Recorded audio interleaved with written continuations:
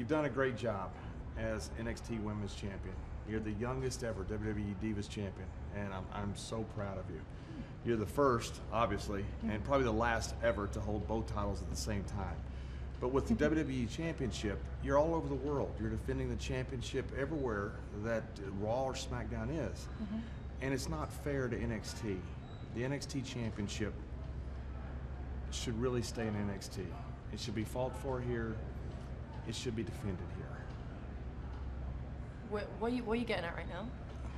Look, I'm sorry, Paige. You've done a wonderful job. History can never take that away from you.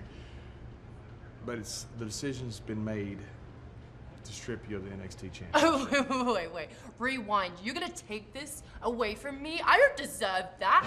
I've worked so hard to get this, and you're gonna take this away from me? I don't think so. No, I You- refuse. You no. Don't, you, you don't deserve it. You've worked very hard. And we're very proud of you. You made a wonderful champion. But it's not fair to NXT.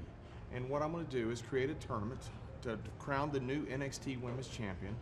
Hopefully, it'll be somebody as good an impact that you've made in the world. And they've got mighty big shoes to fill.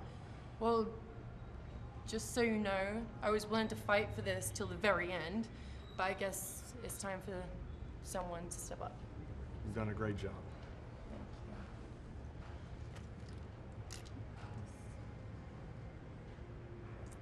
Okay. Let the games begin. Thank you.